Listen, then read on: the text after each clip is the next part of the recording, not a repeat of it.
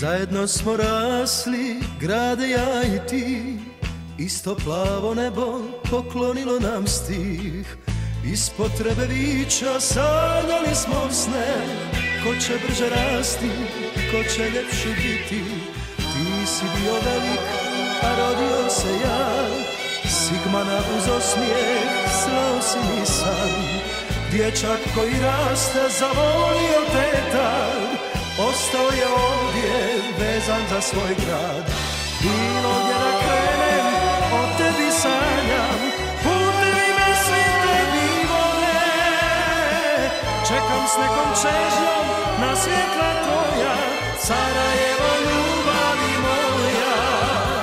Pjesme svoje imaš i ja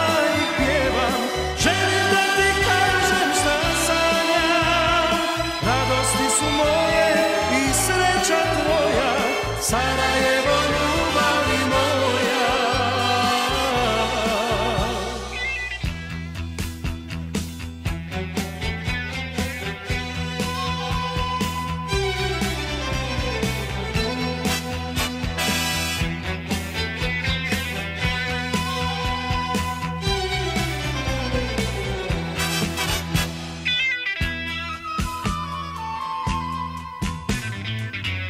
Kada prođu zime i dođe lijepi maj Djevojke su ljepše, ljubavi im daj.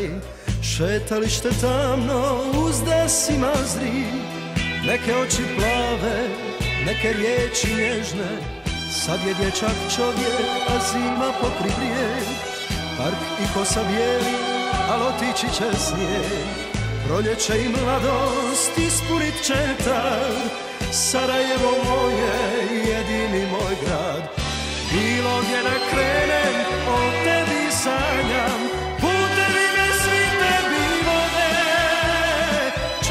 s nekom čežnjom na svjetla tvoja. Sarajevo ljubavi moja. Pjesme svoje imaš